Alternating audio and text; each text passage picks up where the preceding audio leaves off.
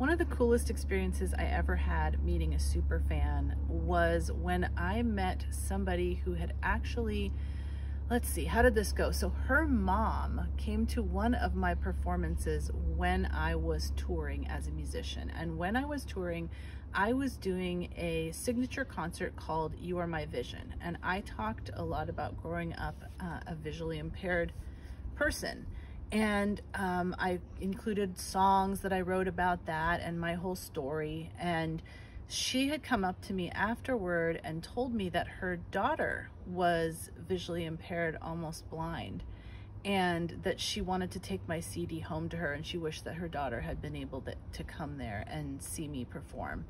And so, you know, she did that and I had completely forgotten about that. Many, many years later, I got a phone call from someone, you know, number I didn't know. And I answered and she said, Hi, my name is Breianna and I found your music because my mom came to one of your concerts when I was seven.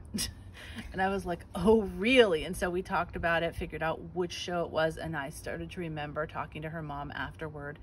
Turns out that she was now in college. She was a music major and she had been really worried about becoming a music major um, because of her visual impairment. And her mom said to her, well, just remember, if Bree Noble can do it, you can do it. And I was like, oh my gosh, like a tear was coming to my eye when she said that. And she, you know, she said, I've always, you know, been really inspired by you. I listen to your music, all that. And then she had actually gone to college at the school where my husband was a professor of English literature. And somehow she had talked to another professor. Oh, that's right.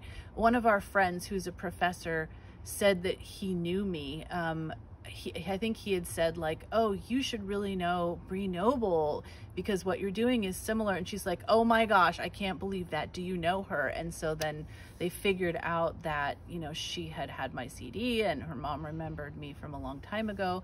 And he gave her my phone number and so she called me and it was just really cool to, to hear how all this unfolded and how I've had this ripple effect on someone.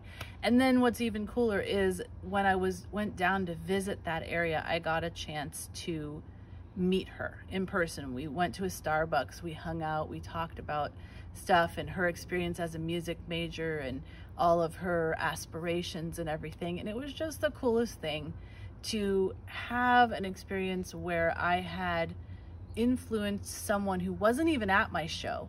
Their parent was at my show. And then this many years later, she had become a music major inspired by what I was doing and I got to meet her in person. That is definitely one of the most memorable fan experiences I've ever had.